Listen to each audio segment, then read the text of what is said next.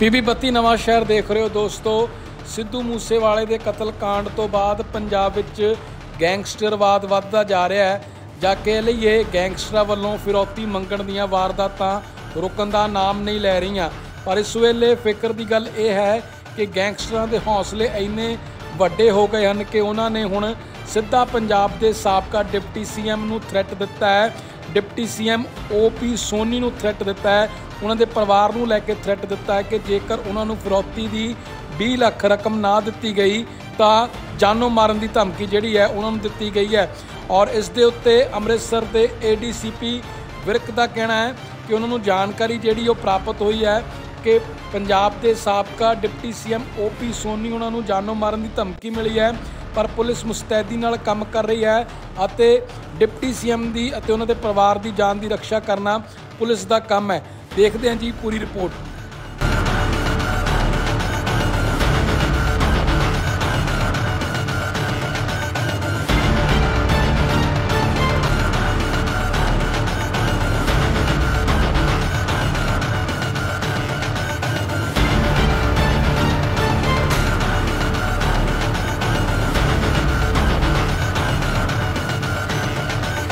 ਮੈਨੂੰ ਨਹੀਂ ਪਤਾ ਇਹ ਸੋਨੀ ਸਾਹਿਬ ਨੂੰ ਕਾਲ ਆਈ ਹੈ ਸੋਨੀ ਸਾਹਿਬ ਬਾਹਰ ਨੇ ਅਸੀਂ ਤੇ ਕੰਪਲੇਂਟ ਕੀਤੀ ਕਿ ਉਹਨਾਂ ਨੂੰ ਕਾਲ ਆ ਰਹੀ ਹੈ। ਸੀਪੀ ਸਾਹਿਬ ਨੂੰ ਕੀਤੀ ਰਿਟਨ ਉਹਨਾਂ ਨੇ ਉਹਦੇ ਬੇਸ ਤੇ ਪੁਲਿਸ ਨੇ ਮੈਨੂੰ ਜੋ ਹੁਣੇ ਮੀਡੀਆ ਥਰੂ ਹੀ ਪਤਾ ਲੱਗਾ ਕਿ ਐਫ ਆਈ ਆਰ ਦਰਜ ਕੀਤੀ ਸਰ ਪਤਾ ਲੱਗਾ ਕਿ ਨੰਬਰ ਕਿੱਥੋਂ ਦਾ ਹੈਗਾ ਕੋਈ ਕਿਹੜੇ ਗੈਂਗਸਟਰ ਉਹ ਤੇ ਦੇਖੋ ਪੁਲਿਸ ਹੀ ਟਰੇਸ ਕਰੇਗੀ WhatsApp ਤੇ ਕਾਲ ਆਉਂਦੀ ਹੈ ਨੰਬਰ ਤੇ ਇੰਡੀਅਨ ਨੰਬਰਸ ਹੀ ਹੈਗੇ ਬਟ ਉਹ ਪਤਾ ਨਹੀਂ ਟਰੇਸ ਨਹੀਂ ਹੋ ਰਹੇ ਪੁਲਿਸ ਲੱਗੀ ਹੋਈ ਹੈ ਸਾਡੇ ਨਾਲ ਵੀ ਇਨ ਟੱਚ ਉਹਨਾਂ ਨੇ ਨੰਬਰ ਮੰਗੇ ਸਾਡੇ ਕੋਲ ਕਿਹੜੇ ਕਿਹੜੇ ਨੰਬਰ ਤੇ ਹੈ ਕਿਹਾ ਜਾ ਰਿਹਾ ਕਿ 20 ਲੱਖ ਰੁਪਏ ਦੀ ਫਰੋਤੀ ਮੰਗੀ ਗਈ ਹੈ ਕਿ ਨਹੀਂ ਗਈ ਜਨਮ ਮਰਦੀ ਤਾਂ ਕਿਉਂ ਦਿੱਤੀ ਗਈ ਪਰਿਵਾਰ ਦੇਖੋ ਥ੍ਰੈਟ ਤੇ ਉਹਨਾਂ ਨੇ ਸੋਨੀ ਸਾਹਿਬ ਨੂੰ ਵੀ ਦਿੱਤਾ ਹੈ ਸਾਡੇ ਫੈਮਿਲੀ ਨੂੰ ਵੀ ਦਿੱਤਾ ਕਿ ਬੱਚਿਆਂ ਤੱਕ ਵੀ ਦਿੱਤਾ ਕਿ ਅਸੀਂ ਸਾਰਿਆਂ ਨੂੰ ਕਰਾਂਗੇ।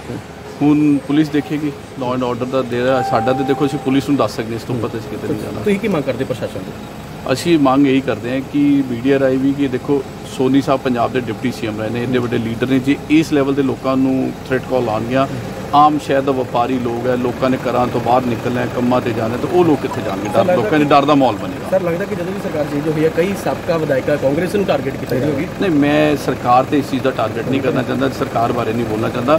ਇਸ ਵੇਲੇ ਹਰ ਬੰਦਾ ਪਰੇਸ਼ਾਨ ਹੈ। ਔਰ ਮੈਂ ਤੇ ਇਹੀ ਮੰਗ ਕਰਦਾ ਸਰਕਾਰ ਅੱਗੇ ਵੀ ਔਰ ਐਡਮਿਨਿਸਟ੍ਰੇਸ਼ਨ ਪੁਲਿਸ ਅੱਗੇ ਵੀ ਕਿ ਇਦਾਂ ਦੀ ਜਿਹੜੀਆਂ ਵਾਰਦਾਤਾਂ ਪੰਜਾਬ 'ਚ ਹੋ ਰਹੀਆਂ ਆਏ ਦਿਨ ਕਤਲ ਹੋ ਰਹੇ ਨੇ ਜਾਂ ਇਦਾਂ ਦੀ ਥ੍ਰੈਟ ਕਾਲਸ ਆ ਰਹੀਆਂ ਇਹਨੂੰ ਰੋਕਿਆ ਜਾਣਾ ਚਾਹੀਦਾ ਹੈ। ਲੋਕਾਂ ਨੂੰ ਇੱਕ ਬੜਾ ਸਾਫ਼ ਸੁਥਰਾ ਮਾਹੌਲ ਮਿਲਣਾ ਚਾਹੀਦਾ ਹੈ ਲਾ ਕੇ ਲੋਕੀ ਆਪਣੀ ਘਰਾਂ 'ਚੋਂ ਬਾਹਰ ਜਾਣ ਆਪਣਾ ਵਪਾਰ ਕਰਨ ਪ੍ਰਸ਼ਾਸਨ ਨੇ ਸੁਰੱਖਿਆ ਵਧਾਈ ਗਈ ਇਹ ਤੇ ਸਾਡੇ ਕੋਲ ਆਪਣੀ ਜਿਹੜੀ ਸੋਨੀ ਸਾਹਿਬ ਕੋਲ ਹੈਗੀ ਉਹੀ ਸੋਚ ਸਕਦੇ ਪੜਦਾ ਹੈ